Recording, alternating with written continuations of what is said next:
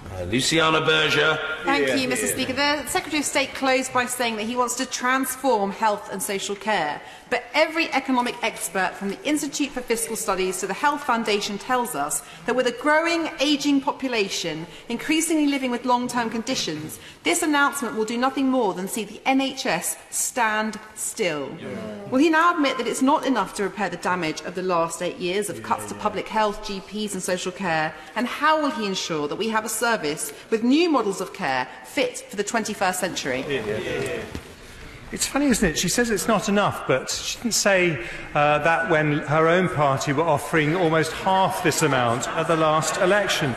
And she also says she also says every economic expert says this is not enough. Well, let me tell her one economic expert that doesn't say that. It's the IPPR left leaning, uh, and it's a piece of work done by Lord Ara Darzi, former Labour Health Minister, who says 3.5% is enough.